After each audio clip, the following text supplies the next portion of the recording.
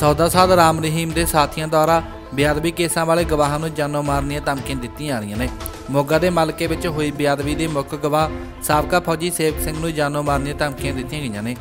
ਇਸ ਤੋਂ ਬਾਅਦ ਸਾਬਕਾ ਫੌਜੀ ਸੇਵਕ ਸਿੰਘ ਨੇ ਪੰਜਾਬ ਹਰਿਆਣਾ ਹਾਈ ਕੋਰਟ ਵਿੱਚ ਰਿਟ ਪਟੀਸ਼ਨ ਦਾਇਰ ਕਰਕੇ ਆਪਣੀ ਜਾਨ ਮਾਲ ਨੂੰ ਖਤਰਾ ਦੱਸਦਿਆਂ ਹਾਈ ਕੋਰਟ ਤੋਂ ਪੱਕੀ ਸਿਕਿਉਰਿਟੀ ਦੀ ਮੰਗ ਕੀਤੀ ਹੈ।